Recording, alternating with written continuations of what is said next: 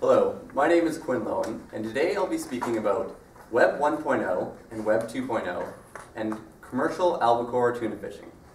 This is a particularly important topic to me as I've been commercial fishing for tuna for the last 13 years. I found that commercial albacore tuna fishing, CATF, has aspects of Web 2.0.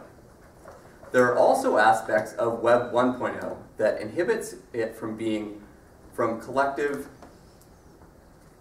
success.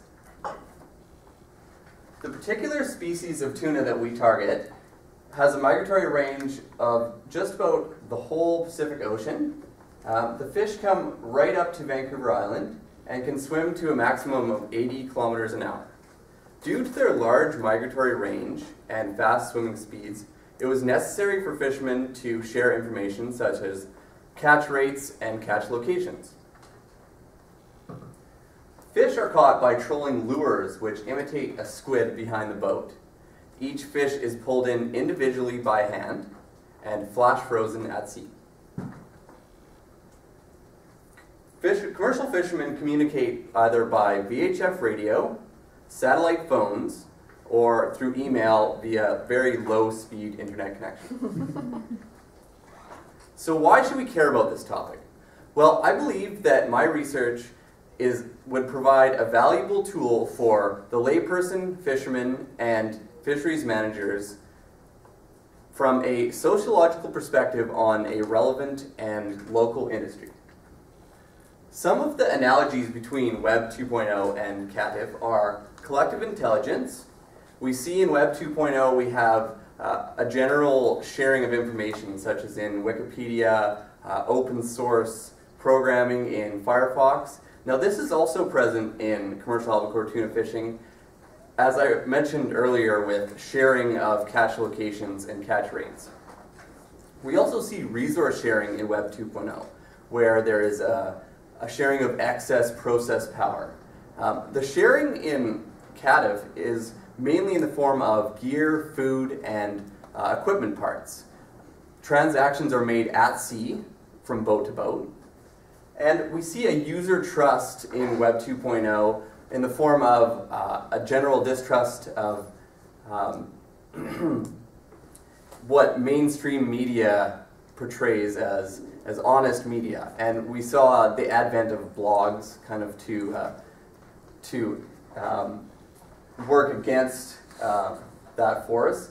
And we also see that in commercial albacore tuna fishing um, where fishermen trust other fishermen. They're less likely to trust uh, fisheries managers or uh, biologists.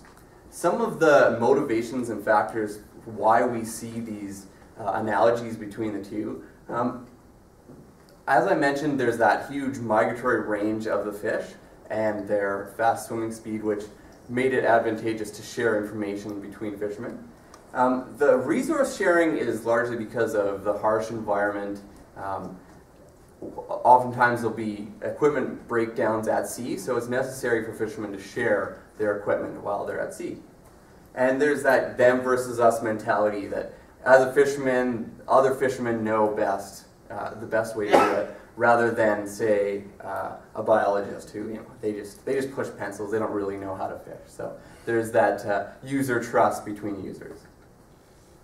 Some analogies between web 1.0 and CATF are this uh, information hoarding we see in web 1.0 we have um, a strong emphasis on uh, copyrighting and uh, in Microsoft for example there's this releasing of software that you have to buy. There's no option. You just have to keep buying and keep buying it. And in commercial fishing, there's also information sharing where I may not want to share to you where I caught these fish because, well, then you're going to come and, and catch my fish, as, as many fishermen see it.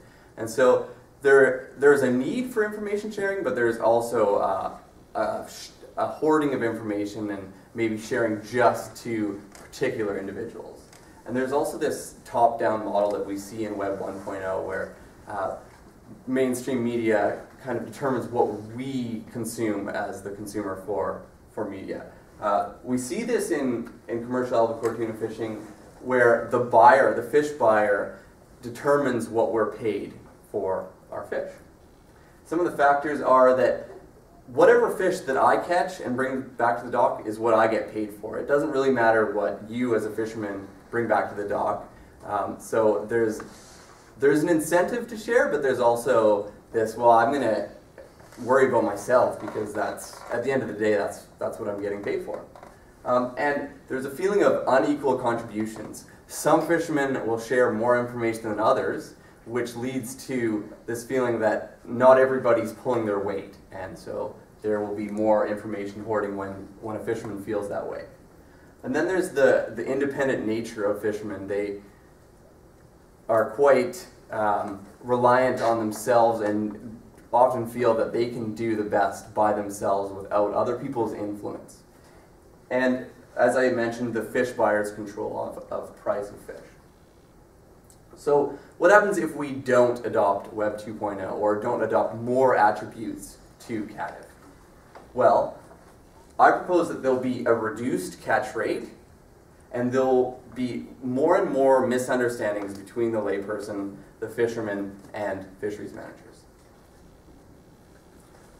I propose that if we do adopt more, we're going to see increased catch rates, increased autonomy, mainly in the form of uh, co uh, cooperatives between fishermen, which could then control the price of the fish that are sold, and reduce misunderstandings. With more information sharing, there's less likely for misunderstandings. Thank you.